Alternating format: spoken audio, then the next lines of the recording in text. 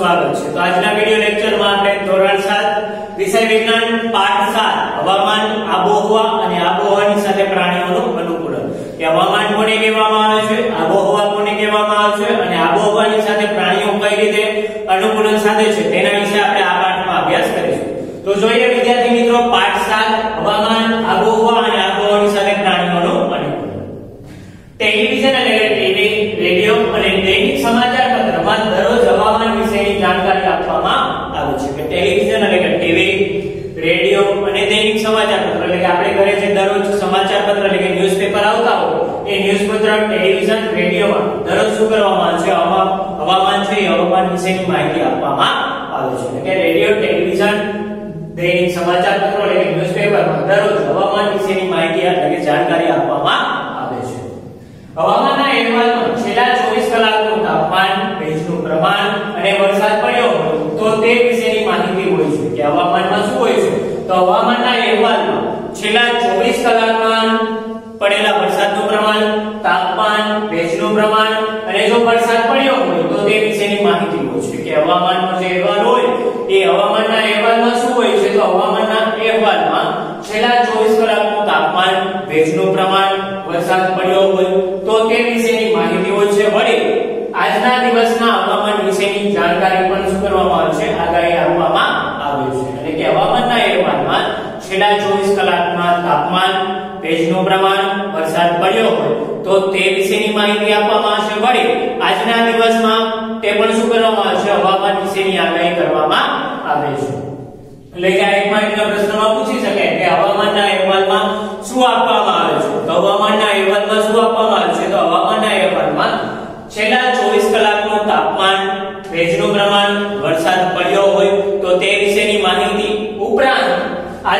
દિવસના હવામાન વિશેની આગાહી પણ કરવામાં આવે છે.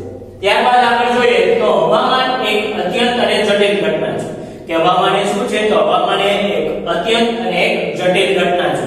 તેથી હવામાનનું પૂર્વાનુમાન એટલે પહેલાથી માહિતી આપવી એક સહેલું કાર્ય નથી. કે હવામાન એ અત્યંત જટિલ ઘટના હોવાથી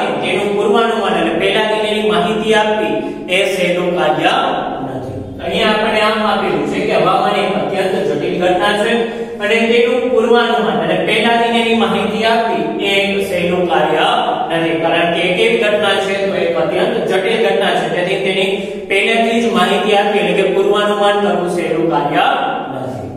ત્યારબાદ જોઈએ તો હવામાન. કે હવામાન છે? તો કોઈ પણ સ્થળનું તાપમાન, ભેજનું પ્રમાણ, વરસાદ, પવનની ઝડપ વગેરેના સંદર્ભમાં વાતાવરણની, દરરોજની પરિસ્થિતિને શું કહેવામાં આવે છે તે કહેવામાં આવે છે કે હવામાન કોને કહેવામાં આવે છે. તો કોઈ પણ સ્થળનું તાપમાન, ભેજનું પ્રમાણ, વરસાદ અને પવનની ઝડપ છે, એ વગેરેના સંદર્ભમાં વાતાવરણની જે દરરોજની પરિસ્થિતિ છે, એ વાતાવરણની દરરોજની પરિસ્થિતિને શું કહે છે, તે સ્તરનું હવામાન કહેવામાં આવે છે. કે હવામાનની વ્યાખ્યા પૂછે તો આ મુજબ આવશે. કે કોઈ પણ સ્થળનું તાપમાન, ભેજનું પ્રમાણ વાતાવરણની દરરોજની પરિસ્થિતિને તે સ્થળનું શું કહેવામાં છે? હવામાન કહેવામાં આવે છે. તાપમાન, ભેજનું પ્રમાણ, વરસાદ, પવનની ઝડપ, એ હવામાનના શું છે? મૂળ તત્વો કહેવામાં આવે છે કે હવામાનના મૂળ તત્વો કયા છે? આ એક માર્કના પ્રશ્નમાં પૂછે કે હવામાનના મૂળ તત્વો કયા કયા છે? તો હવામાનના મૂળ તત્વો કયા કયા આવશે? તો તાપમાન, ભેજનું પ્રમાણ, વરસાદ, પવનની ઝડપ વગેરે શું છે? હવામાનના મૂળ તત્વો કહેવાય છે. કે તાપમાન ભેજનું પ્રમાણ વરસાદ પવનની ઝડપ એ હવામાનના શું છે, મૂળ તત્વો કહેવાય. ત્યારબાદ આપણે જોઈએ તો હવામાનનો અહેવાલ પણ તૈયાર કરે છે. તો હવામાનનો અહેવાલ છે, ભારત સરકારનો હવામાન વિભાગ તૈયાર કરે છે કે હવામાનનો અહેવાલ પણ તૈયાર કરે છે. એક માર્કના પ્રશ્નમાં પૂછી શકે અથવા તો એમસીક્યુ માં પૂછી શકે કે હવામાનનો અહેવાલ કોણ તૈયાર કરે છે. તો હવામાનનો અહેવાલ છે, ભારત સરકારનો હવામાન વિભાગ છે. એ હવામાન વિભાગ શું કરે છે? હવામાનનો અહેવાલ તૈયાર કરે છે એટલે કે હવામાનનો અહેવાલ, ભારત સરકારનો હવામાન વિભાગ છે હવામાન વિભાગ શું કરે છે? હવામાનનો અહેવાલ તૈયાર કરે છે. દિવસનું મહત્તમ અને ન્યૂનતમ તાપમાન માપવા માટેના વિશિષ્ટ થર્મોમીટર શું કરે છે? કે દિવસનું મહત્તમ અને ન્યૂનતમ તાપમાન, મહત્તમ એટલે કે વધુમાં વધુ અને ન્યૂનતમ એટલે કે ઓછામાં ઓછું જે તાપમાન છે, એ તાપમાન માપવા માટેનું જે વિશિષ્ટ થર્મોમીટર વપરાય છે વિશિષ્ટ પ્રકારના થર્મોમીટરને શું કહેવામાં આવે છે? તો એને મહત્તમ, ન્યૂનતમ થર્મોમીટર તરીકે ઓળખવામાં આવે છે. એટલે કે દિવસનું મહત્તમ અને ન્યૂનતમ તાપમાન જે થર્મોમીટરનો ઉપયોગ થાય છે, એ થર્મોમીટરને શું કહેવામાં આવે છે? તો મહત્તમ અને ન્યૂનતમ થર્મોમીટર કહેવામાં આવે છે. એક માર્કના પ્રશ્નમાં પૂછી શકે કે દિવસનું મહત્તમ અને ન્યૂનતમ થર્મો, ન્યૂનતમ તાપમાન માપવા માટે જે થર્મોમીટરનો ઉપયોગ થાય છે, તેને શું કહેવામાં આવે છે? તો દિવસનું મહત્તમ અને ન્યૂનતમ તાપમાન માપવા માટે જે થર્મોમીટરનો ઉપયોગ થાય છે, તેને મહત્તમ અને ન્યૂનતમ થર્મોમીટર કહેવામાં આવે છે. ત્યારબાદ વરસાદ માપવા માટેના સાધનને વર્ષા માપક કેન્દ્ર કહે છે અને કેન્દ્ર છે. કે દિવસનું મહત્તમ અને ન્યૂનતમ તાપમાન માપવા માટેના વિશિષ્ટ થર્મોમીટર. મહત્તમ, ન્યૂનતમ થર્મોમીટર કહે છે? અને વરસાદ માપવા માટેના સાધનને શું કહે છે? વર્ષા માપક યંત્ર કહે છે? ત્યારબાદ, ભેજ માપવા માટેનું જે યંત્ર હોય છે ભેજ માપવા માટેના સાધનને શું કહેવામાં આવે છે? ભેજ માપક યંત્ર તરીકે ઓળખવામાં આવે છે. તો આ એક માર્કના પ્રશ્નમાં તો એમસીક્યુ માં પૂછાઈ શકે કે મહત્તમ અને ન્યૂનતમ તાપમાન માપવા માટેના થર્મોમીટરને શું કહે છે? તો એના આવશે મહત્તમ ન્યૂનતમ થર્મોમીટર ત્યારબાદ આવશે વરસાદ માપવા માટેના સાધનને શું કહેવામાં આવે છે તો વરસાદ માપવા માટેના સાધનને વરસાદ માપક યંત્ર કહે છે અને ભેજ માપવા માટેના સાધનને શું કહે છે તો ભેજ માપવા માટેના સાધનને ભેજ માપક યંત્ર કહેવામાં આવે છે. ત્યારબાદ આબોહવા પણ એક આવે છે. તો આબોહવા એટલે શું થશે કે લગભગ 24 વર્ષ જેવા લાંબા ગાળાના હવામાનના માળખાને તે સ્થળની લગભગ 25 વર્ષ જેવા લાંબા ગાળાના હવામાનના માળખાને તે સ્થળનું શું કહેવામાં આવે છે? તો તે સ્થળની આબોહવા કહેવામાં આવે છે કે લગભગ 25 વર્ષ જેટલા લાંબા ગાળાના હવામાનના જે માળખું છે, એ હવામાનના માળખાને શું કહેવામાં આવે છે? તે સ્થળની આબોહવા કહેવામાં આવે છે. કેરળની આબોહવા ગરમ અને ભેજવાળી છે. જ્યારે જમ્મુ કાશ્મીરની આબોહવા છે કેરળની સરખામણીમાં કેવી છે? મધ્યમ ગરમ અને ભેજવાળી છે કે કેરળની આબોહવા છે, કેરળની આબોહવા કેવી છે? તો કેરળની આબોહવા છે ગરમ અને ભેજવાળી છે. જ્યારે એની સરખામણી સરખામણીમાં આપણે જોઈએ જમ્મુ કાશ્મીર. તો જમ્મુ કાશ્મીરની આબોહવા છે એ કેરળની સરખામણીમાં મધ્યમ ગરમ અને ભેજવાળી છે. આઈએમસીક્યુ માં પૂછી શકે કે કેરળની આબોહવા કેવી છે? તો કેરળની આબોહવા કેવી છે? ગરમ અને ભેજવાળી છે. જ્યારે જમ્મુ કાશ્મીરની આબોહવા છે એ કેરળની સરખામણીમાં મધ્યમ ગરમ અને ભેજવાળી છે.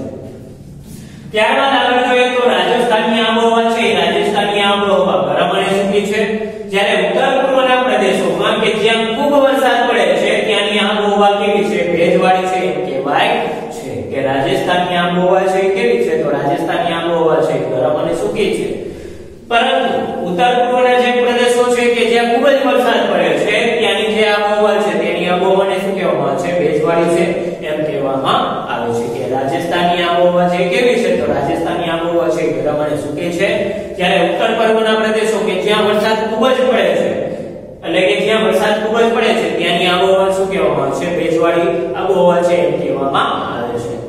અનુકૂલન કોને કહેવામાં તો અનુકૂલન એટલે કે સજીવો જે વસવાટમાં રહેતા એટલે કે જે નિવાસસ્થાનમાં રહેતા હોય, તેને અનુરૂપ ચોક્કસ ખાસિયતો અને ટેવો કેળવી સફળતાપૂર્વક જીવન જીવવાની શ્રદ્ધા ધરાવે છે. તેને શું કહેવામાં આવે છે? અનુકૂલન કહેવામાં આવે છે. કે અનુકૂલન કોને કહે વસવાટમાં રહેતા હોય, તેને અનુરૂપ ચોક્કસ ખાસિયતો અને ટેવો કેળવી અને સફળતાપૂર્વક જીવન જીવવાની જે ક્ષમતા ધરાવે છે, તેને શું કહેવામાં આવે છે? તો તેને અનુકૂલન કહેવામાં આવે છે. તો અનુકૂલન કોને કહેવામાં આવે? મારી વ્યાખ્યામાં પૂછી શકે. તો અનુકૂલન કોને કહેવામાં આવે? કે સજીવો જે વસવાટમાં રહેતા હોય, તેને અનુરૂપ ચોક્કસ ખાસિયતો અને ટેવો કેળવી અને સફળતાપૂર્વક જીવન જીવવાની ક્ષમતા ધરાવે છે, તેને શું કહેવામાં આવે છે? તેને અનુકૂલન કહેવામાં પ્રાણીઓ તેમનું જીવન ટકાવી રાખવા માટે તેઓ જ્યાં રહેતા હોય, તેની આબોહવાને અનુરૂપ અનુકૂલન સાધી લે છે કે પ્રાણીઓ જ્યાં રહેતા હોય છે, તે વસવાટને અનુરૂપ શું કરે છે ત્યાંની જે આબોહવા છે, એ આબોહવાને અનુરૂપ શું કરી શકે છે? અનુકૂલન સાધી લે છે. એટલે કે પ્રાણીઓ તેમનું જીવન ટકાવી રાખવા માટે, એટલે કે જ્યાં પ્રાણીઓ રહેતા હોય, ત્યાં પોતાનું જીવન ટકાવી રાખવા માટે, તેઓ જ્યાં રહેતા હોય છે ત્યાં તેની આબોહવાને અનુરૂપ શું કરે છે? અનુકૂલન સાધી લે છે કે જ્યાં પ્રાણીઓ રહેતા હોય, પ્રાણીઓ પોતાનું જીવન ટકાવી રાખવા માટે શું કરે છે? જે વિસ્તારમાં રહેતા હોય, તે વિસ્તારની આબોહવાને અનુરૂપ શું કરે છે? અનુકૂલન સાધી લે છે અને પોતાનું જીવન શું કરે છે? જીવન ટકાવી રાખે છે. ત્યારબાદ આપણે જોઈએ તો દાખલા તરીકે આપણને આપેલું છે કે ધ્રુવ પ્રદેશમાં સફેદ રીંછ અને પેંગ્વિન કે ધ્રુવ પ્રદેશમાં જે જોવા પડતા આપણને સફેદ રીંછ અને પેંગ્વિન છે, એ તે જે વિસ્તારમાં પ્રદેશમાં રહેતા હોય તો ધ્રુવ પ્રદેશમાં રહેતા વિસ્તારને અનુરૂપ શું કરે છે? ત્યાંની જે આબોહવા છે આબોહવાને અનુરૂપ શું કરી લે છે? અનુકૂલન સાધી લે છે અને પોતાનું શું કરે છે? જીવન ટકાવી રાખે છે. ત્યારબાદ આગળ જોઈએ તો ધ્રુવ પ્રદેશોમાં બરફ છવાયેલો રહે છે. ધ્રુવ પ્રદેશ છે. તો ધ્રુવ પ્રદેશમાં શું હોય છે કે ત્યાં બરફ છવાયેલો રહે છે. એટલે કે ધ્રુવીય પ્રદેશોમાં બરફ છવાયેલો રહે છે અને ત્યાં નીચે સફેદ રૂવાટી હોય છે. કે ધ્રુવીય પ્રદેશ હશે તો ધ્રુવીય પ્રદેશમાં શું રહે છે? બરફ છે એ. બરફ છવાયેલો રહે છે. અને ત્યાંના જે રેન્જ હોય છે, ત્યાં નીચે શું હોય છે સફેદ રૂવાટી હોય છે. તે રીતે બરફના વિસ્તારમાં સફેદ રંગ સાથે શું થાય છે, પડી જાય છે, કે ત્યાંના જે રીંછ હોય છે, એને શું હોય છે, સફેદ રૂવાટી હોય છે. અને રૂવાટીને કારણે શું થશે, તે બરફના જે વિસ્તાર છે, એ બરફના વિસ્તારના સફેદ રંગ સાથે શું થાય છે, એની સાથે તે પડી જાય છે. શિકારી તેમજ શિકાર તેમને સહેલાઈથી જોઈ શકતા નથી. કે શિકારી અથવા તો શિકાર છે, એ શિકાર તેમને સહેલાઈથી જોઈ શકતા નથી, કારણ કે રૂવાટીનો રંગ છે એ કેવો છે? સફેદ છે. એ સફેદ રંગની રૂવાટીને કારણે શું થશે કે બરફનો જે સફેદ રંગ છે, એ બળદના વિસ્તાર સાથે શું થશે? બળદના સફેદ વિસ્તાર સાથે તે ભળી જાય છે. જેને કારણે તે શિકારી અથવા તો શિકાર છે તેમને સહેલાઈથી જોઈ શકતા નથી.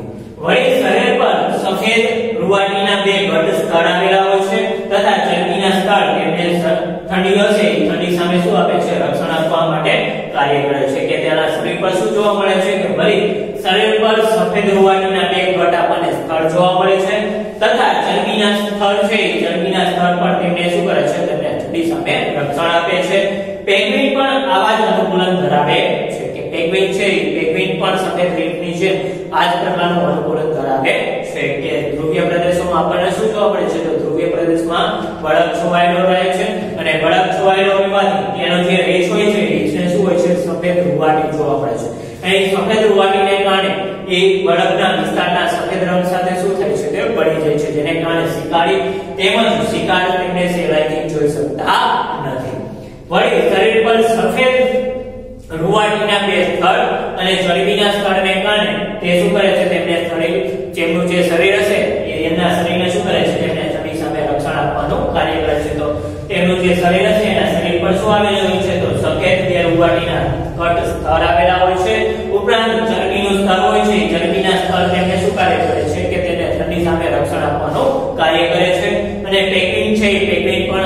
પ્રકારનું અનુકૂલન ધરાવે છે કે જે પ્રકારનું સફેદ રીંછ અનુકૂલન ધરાવે છે ધ્રુવીય પ્રદેશમાં, તે જ રીતે પેકિંગ છે એ પેકિંગ પણ ધ્રુવીય પ્રદેશમાં પ્રકારનું અનુકૂલન ધરાવે છે.